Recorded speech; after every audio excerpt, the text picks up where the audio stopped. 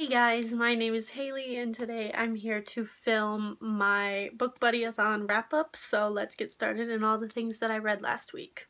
So my buddy for the Book Buddyathon was Tina from the Never Ending Bookshelf and I will leave her channel linked down below. And our main focus of the readathon that was our buddy read was Nevernight by Jay Kristoff. I ended up loving this so much and I know she really enjoyed it as well. We had a blast reading it, especially Buddy reading it. I got these new tabs for my books where I can like place them inside the actual book so they don't stick out of my book because a lot of time the tabs get ruined when I do that. And I really like them because they're like see-through so it won't obstruct rereading the book but I honestly just adored this. I loved the characters. I loved the writing was just beautiful. I need to read all of Jay Kristoff's books. I actually own his other trilogy right there. I need to get the third one so I can read it. But this was amazing. I loved the world. I loved the assassin school setting. I loved all of the teachers. It was just it gave me a very like divergent Hogwarts vibe, but like a, a really, really scary Hogwarts. I think the divergent vibe was mainly because they're basically initiates and they have to go through all this training and classes and everything to even think about becoming what they call a blade in this world.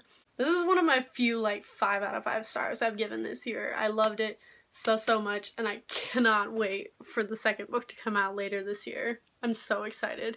And Tina, we're buddy reading that one too, right? And for the challenges of your buddy's favorite color on the cover and their first initial, I read Tandem by Anna Jarzab. This, I think, suffered from me reading two really, really good books beforehand. And just, I've been reading a lot of fantasy lately, and this is fantasy that involves parallel worlds, which, if you know me, is one of my buzzwords, and I love parallel wor worlds as, like, a plot device. And some of the writing was really pretty, but I really didn't like many of the characters and it was really depressing. I think I gave it a three star on Goodreads. The only character that I really liked was Thomas, who is one of the parallel world. He's like part of the government there and he is the love interest.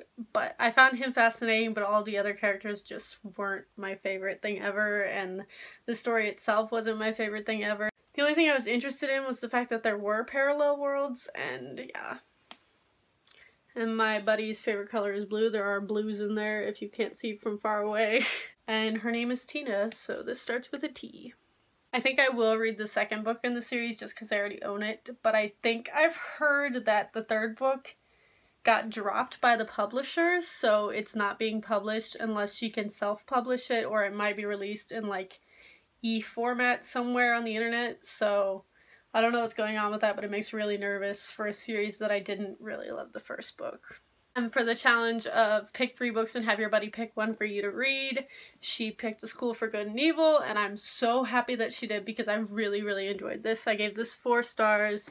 It's a really fun middle grade that really has a lot of dark parts to it, which I really liked. And it was very different, especially for middle grade. And it literally, like, bends and breaks a bunch of stereotypes that we know about fairy tales and good and evil. I really liked Agatha as a character. Sophie was just atrocious, but I think that's the point of her character. Again, I loved the school setting, I loved the classes, I loved the ranking, and just I loved that this like puts into question what we know about being good and evil and about fairy tales in general.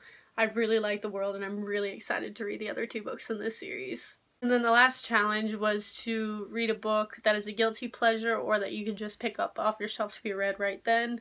And since it was the last day of the readathon, I just picked up Zombie Tales, the Omnibus Outbreak. And this is just a zombie graphic novel, like an anthology almost.